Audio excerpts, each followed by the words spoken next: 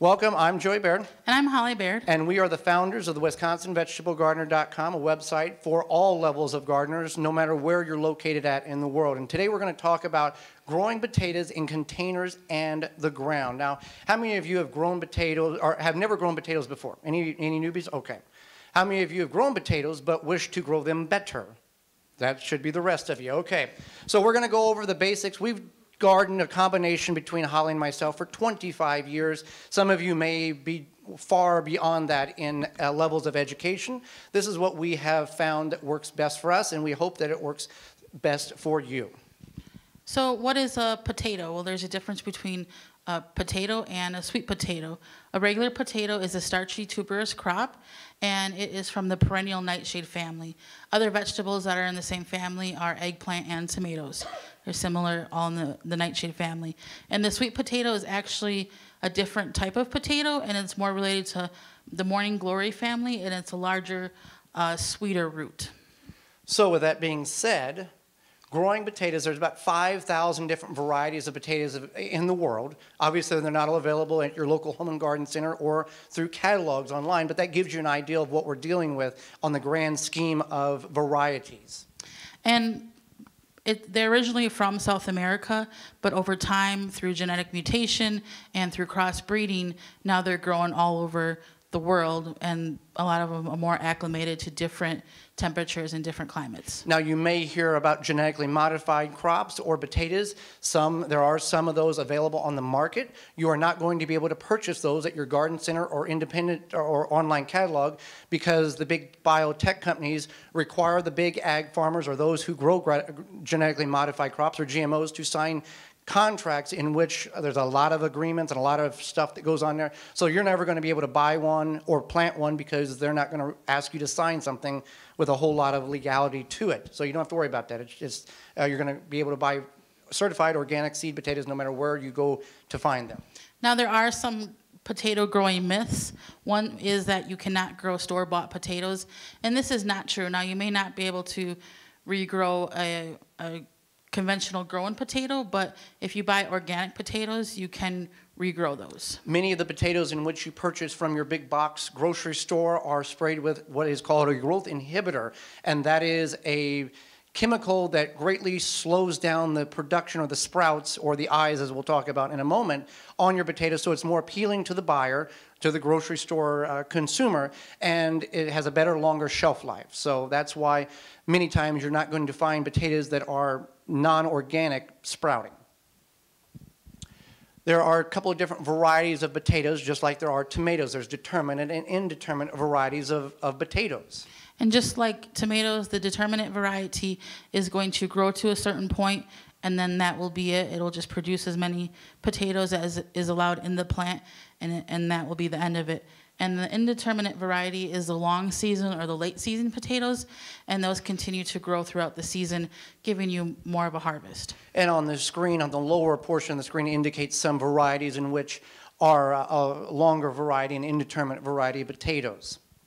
So when we talk about varieties of indeterminate and determinate varieties, there are what is said to be garden myths. Now, has any of you attempted to perform any of the growing techniques that are on the screen right now, whether box, uh, tire, or uh, cage? Okay. Any of you have any success with any of those to the stature that you would? Okay, some people have some success. With our experience, what we have found is that none of these are as successful as regular putting them in the ground or in a container. The image on the left of the screen, which is the box of the two by, uh, two by two, four foot tall box, you're supposed to be able to do that and grow 100 pounds of potatoes in it. Well, through the gardening community on YouTube and other individuals whom we spoke to, this was a article that got a little blown out of proportion. The initial, initial person who posted this got 100 pounds of potatoes out of that box, but what they failed to indicate before putting it on social media and becoming clickbait is on the next slide, you'll see what we're talking about. On the right-hand side, they planted one row of potatoes, they began to sprout. Then they put more soil on it and planted another row on top of that in which you had potatoes throughout the box. So, so the myth is is that instead of doing the two different rows separately, you plant two rows together and then you're going to get them all to grow phenomenally. And that's simply not true. And that's not what's usually told when you find this information online. So it's not that simple. It is possible, but you have to do two different plantings. The, the, the thought process is that stalk will continue to grow as we're all told to backfill or cover the stalk up, and more root development will occur, which will occur more tubers. And we just simply have never found that in our garden to be true at all. So in our experience, yes, this may work for some people. You can try to modify as if you choose to, but for the most part, growing them in a container or the ground is what's going to get you the most yield, or even a straw bale. And growing in tires is not advisable for really any vegetable. Though there has been studies that prove there's no leaching out of the chemicals into the soil, it's a preference that you have to make for your own garden and for those who are consuming the food in which you grow those uh, crops out of. So what are you going, what, what potatoes are you going to plant? Well, it really determines what's the end result of what are you going to use the potatoes for. So if you're going to use it for roasting, baking, freezing, mashing, canning, maybe there's a specific variety you enjoy to eat. Maybe there's something that you, you feel is more beneficial to you, and that's how you're going to determine what you want to grow. When you go purchase potatoes at your garden center or online, they have a description about the potato, and it does indicate good for canning or good for cooking. If your intentions are to can these, pressure can these, don't buy a potato that it says not good for canning or doesn't mention that. Let uh, use you know be rational about this and buy the potato not because of the prettiness of it, but for the functionality of it uh, and the end result of what your intentions are. So we use potatoes that are certified seed potatoes from a farm from uh, Bridgewater, Maine. They're a family farm that's been in operation for 41 years. And the nice thing, uh, there's 26 specialty variety potatoes. They sell it every year. We've never got a bad potato or bad seed potato from them. And the nice thing about that farm is the, the mom and dad are passing the farm down to their children and uh, continuing the generation of farming. And they're all certified non-GMO and they're very anti-GMO in that manner. So you can get your seed potatoes from online catalogs, independent garden centers. Uh, that's just where we choose to grow them. So there's th- there's three types of potatoes when it comes to when you're going to plant them or how long they take to grow. And there's the early season, which is about 75 to 90 days. There's the mid season, which is about 95 to 110 days and the late season, which is the 120 to 135 days. Now we are we've played around with uh, the days and the planting. We are able to get an early crop in at the normal time about mid early late April, early May, and then once the garlic comes out, we are able to put another crop in of uh, mid varieties and get a late fall crop. That that worked very well last year, and we'll continue to practice and finesse our numbers to where we can have several harvesting of potatoes all summer long. Now, chitting the potatoes. Let's talk about this. This is a way in order to speed up the development of the potato tuber, and you can do it a couple of different ways.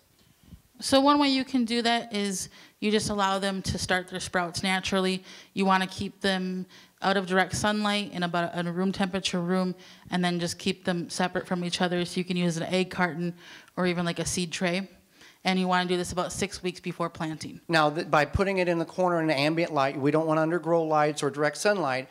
By the time that six weeks has elapsed, you will have about an, maybe at best an inch sprout on that potato. And that's simply just to increase the uh, speed in which the potato will root in the ground, and the sooner you can get potatoes. And is it necessary to chit your potatoes? Um, no, it's not. It just it does give your potatoes a chance to kind of get a jump start uh, jump start on the growth, but it doesn't make a difference if you do live in a shorter season area, maybe more in northern Wisconsin. Then you could chit your potatoes and you would have a, a faster season. There is a number of commercial growers that just simply take a potato and throw it in the ground and it grows just fine. So it's not something that's required, but we do it in order to help speed up and for the next reason uh, in a moment to get more seed potatoes out of uh, each potato. And so this just talks about um, whether you, when the sprouts get really long, whether or not you want to cut, trim them back or to let them grow and you just want to let them keep growing. You don't want to cut them back. The tuber itself is the energy source in which the new plant will emerge from and grow. So by removing those sprouts, and I'm talking ones that are on the lower right-hand side of the screen that are one or two inches, you want to leave those alone. Now, if you have, though we've all had that, we found them in the cupboard and they're like 16 feet long and they're all, yeah, uh, those, those were, were just start over. But with these, um, I would remove the one on the right-hand side and leave the two on the left-hand side and plant that potato as is to allow two stalks to emerge and grow properly. What happens when you snap those off, the energy in the tuber, if it's large enough, it has to go through a, recovery process to regenerate that growth and slows down the, the, the speed of the plant developing and the harvest, but also can reduce the size and, and uh, the health of the uh, potato as well. So you can cut your seed potatoes if you if it's large enough and you have more than one sprout. You don't want to cut them smaller than the size of about a, a regular size chicken egg. So as you can see here, you have a three ounce potato. You don't want to cut that, and then all the way to a 10 ounce or larger potato, you could get four pieces. But you just want to make sure each piece has an eye or a sprout on it. Now, you don't have to cut them, as we indicated earlier. You can simply throw them in the ground, but this is an advantage to increase the number of plants that you'll have in your garden or your containers. Studies have shown whether you plant the whole potato or you cut it up and divide it, the yield is the same either way. You're not losing or gaining any additional yield per plant. What you're gaining is additional plants in order to make your row fill out better or get more in each row or container. So that's, that's a way that we can stretch the dollar of the seed potatoes in which we have purchased. Now, when you do this, you want to make sure you let them sit for a day or two before you plant them so they get the nice scab over the cut portion. But you can also sulfur, do an agricultural sulfur on them, which is called dusting. We don't do this, but some people do.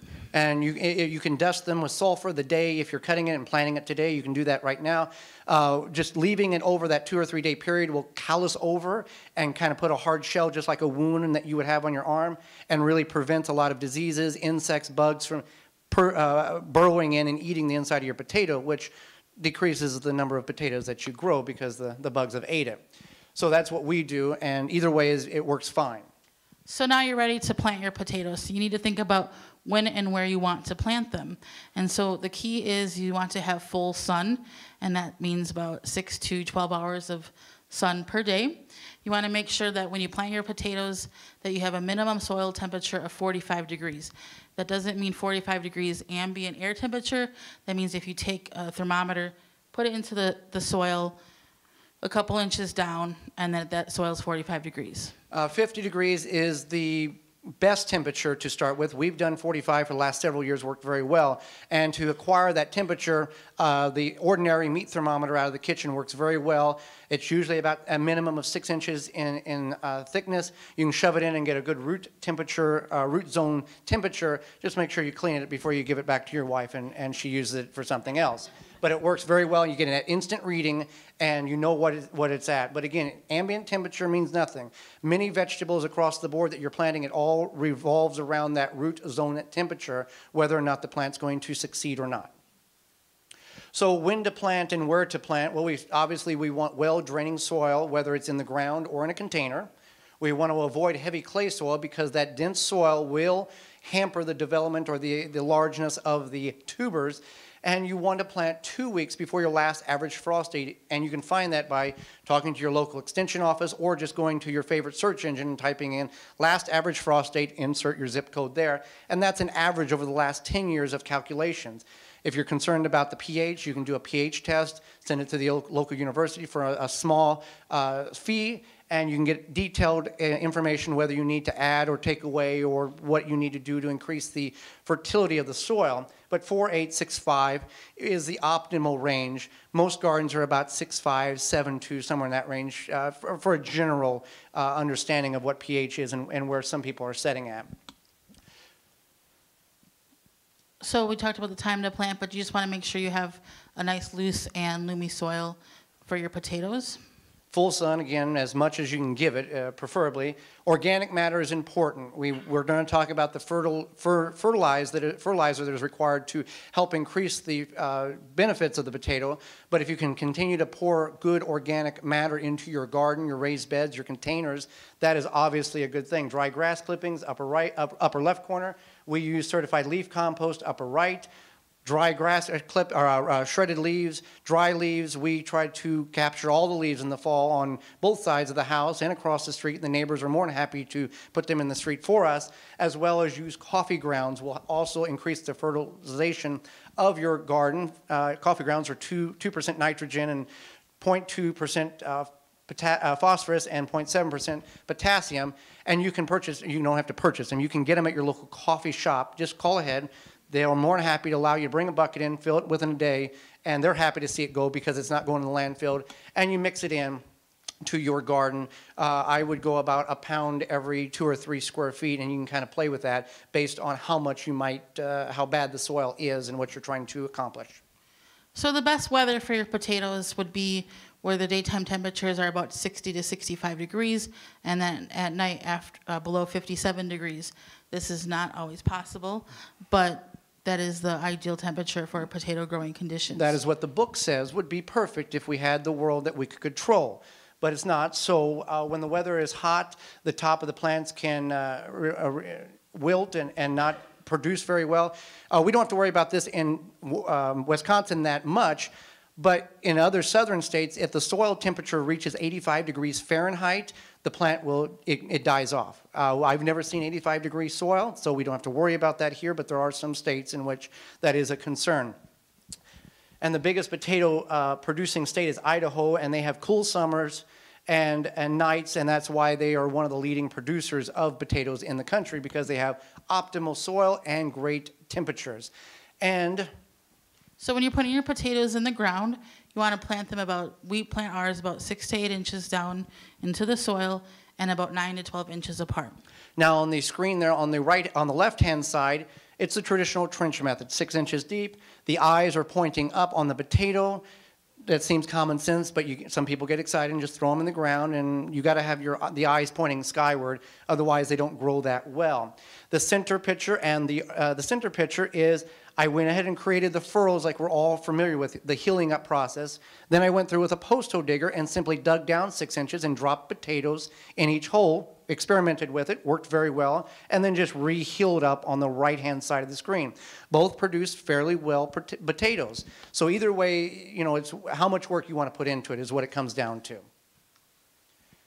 So now we're going to talk about the fertilization or the fertilizer that is needed for your potatoes and what is recommended. So you want to get a fertilizer with a higher potassium and phosphorus uh, Numbers, numbers um, compared to the nitrogen content. that, that is the, the second and third number on your fertilizer bag. Nitrogen is always the first. And then later in the season, you can fertilize them again. We haven't done this, but we're gonna, we are going to try it this summer to see if it makes a difference. And you can just use an all-purpose uh, organic fertilizer or inorganic fertilizer based on your growing beliefs. Uh, whenever you get to that organic fertilizer, basically most plants won't pick up more than a 555 uh, in that range 5 to 9 is about your average organic level when you see the fertilizers the triple 15 or the triple 20 those are synthetic fertilizers because there's no such thing as those type of numbers that can be organically created in nature And then you can mix in a solid organic fertilizer. And as we mentioned, you want to check the plant mid-season if you choose to, and then add extra fertilizer if the leaves are looking slightly like slightly yellow, or if you don't see, seems like they're growing very well. as well as you can add compost, rotted manure. Do not use fresh manure because you will kill your plants. Most animal, horse, animal manure, cow manure uh, is very high and, and has a hot nitrogen and it will just burn, burn your plants up. So you want it to age for a year or put it in through a good composting process. It has great nutrients, but you have to use it when it's the appropriate time. You just can't throw it right on your garden. So this past season, we tried something called no-dig potatoes, and it it was well, It- Joey. It worked very well. On the left-hand side of the screen, we took an experimental patch of three foot, uh, two foot wide by three foot long, added one inch of compost as a bedding uh, material. Right-hand side of the screen, I went ahead and spaced the potatoes nine to 12 inches apart, added the requirement for the, the correct fertilizer requirements on the back of the package, and then we went ahead and covered the potatoes with regular leaves, dry grass clippings, shredded paper, yard debris, whatever we had, about 18, uh, 20 inches high. And throughout the summer, I continued to try to find materials in that range to cover them up. And they sprouted, they grew, they grew much better. These were fingerling potatoes. They grew much better than the fingerlings we had in the ground. And when it was time to harvest, we simply just raked back the leaves, picked the potatoes up, and put them in the box and, and walked in the house with it. Worked very well, very low maintenance, and we will continue to exercise and, and try different methods of no dig uh, this coming year. And there was no weeds. There No, wasn't weeds very minimal Very weeds minimal. with that, uh, that procedure. So that's something that maybe if you're not a big fan of digging a lot, that might be one way to go about uh, going with a no-dig method. So now we're going to talk about container gardening, and this may be a way, again, easier than to traditionally dig a trench or bury them in the ground. Now, not many people realize you can grow potatoes in a container, but it, it is very possible. So what you want to do is you want to take your container and you fill it about a third of the way with a, a good potting soil compost, and then you plant your potatoes, and then you fill it back up with the rest of the compost or soil. We're not worrying about topping it off every time the, the sprouts emerge through the ground, uh, th- through the soil, because we believe that there's no, no, no proof that putting more sprouts on the stalk creates more potatoes. So that's why we uh, go about this way. So here's a rough guide of how many potatoes you can put in a grow bag container bucket. And with any device that you're growing your potatoes in, please put holes in the bottom of them because potatoes can't swim and they can't breathe underwater and they will die just like many other crops in which we grow in our garden. So one, one seed potato in a three gallon pot. Again, here's the, the key with these containers. The larger the container, the larger the mass of soil, the more moisture is contained in that soil, the slower that will dry out. So keep that in mind. 10 gallon grow, uh, grow bag or container, three to four seed potatoes, space these evenly, and 15 gallon, five seed potatoes, a- and on up. There's many grow bags. We use some 60 gallon grow bags uh, that work really well. And again, place them evenly because we have to have adequate space for the seed potatoes to grow tubers correctly. So this is a little question and answer that we have here.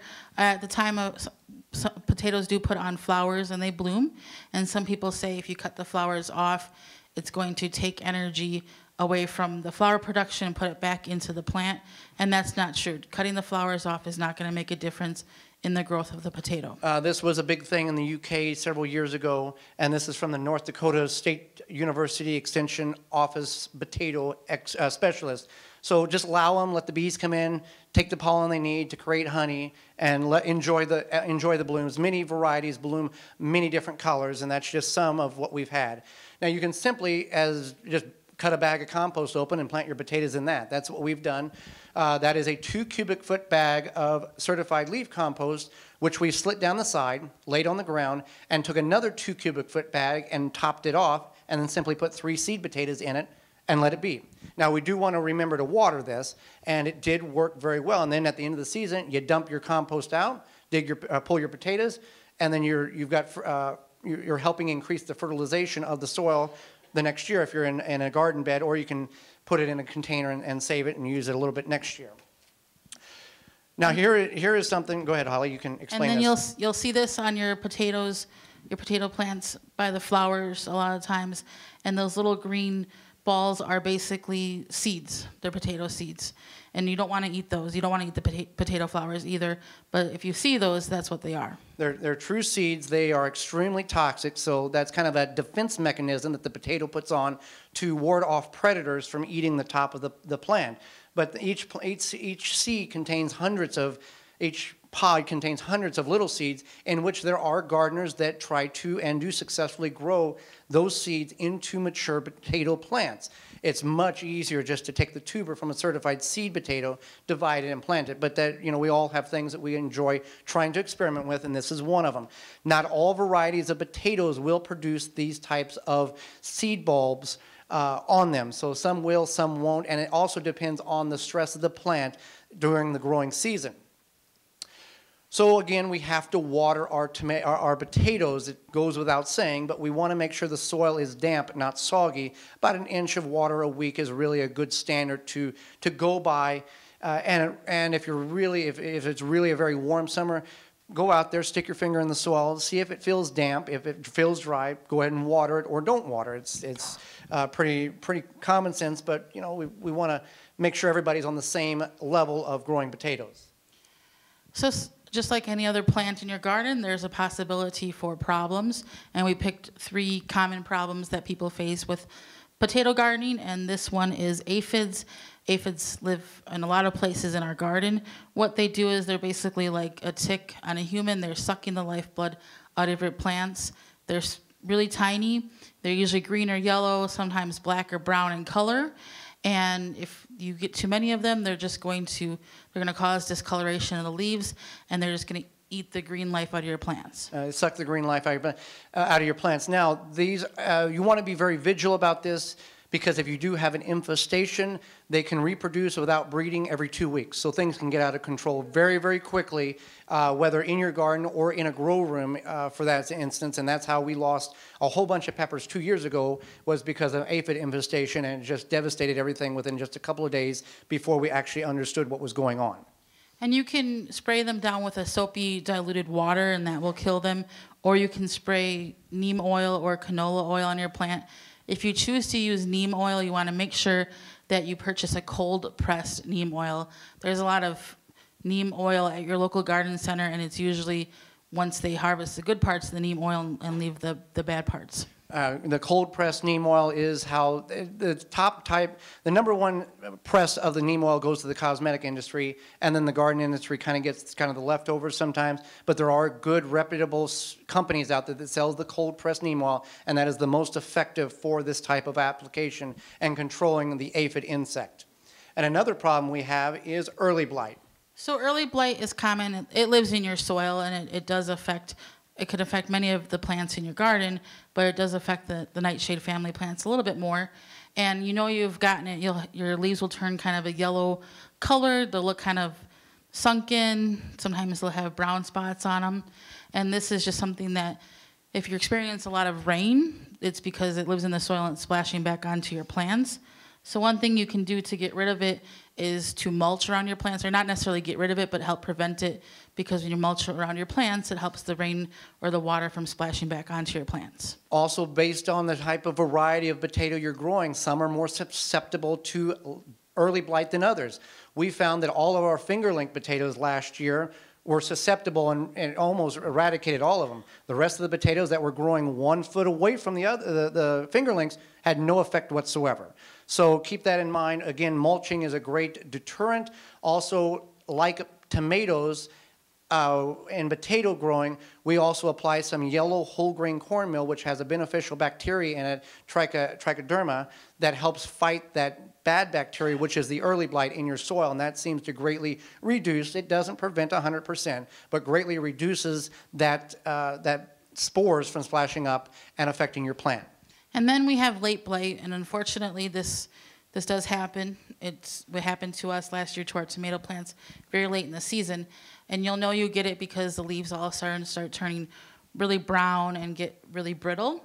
And late blight is an airborne disease, so if you do get late blight on any of your plants, you don't want to put them in your compost. You don't want to give them to the city. You just want to simply throw them in the trash. There are some copper fungicides that are a preventive measure or slows it down prior to you getting it, but you kind of have to be ahead of the game.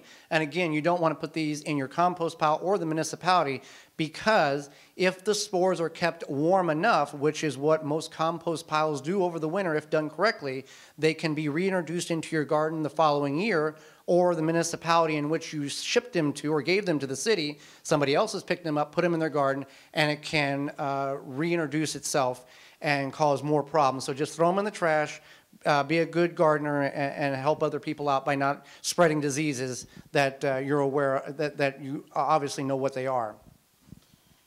So when when to harvest? When is the best time to harvest your potatoes?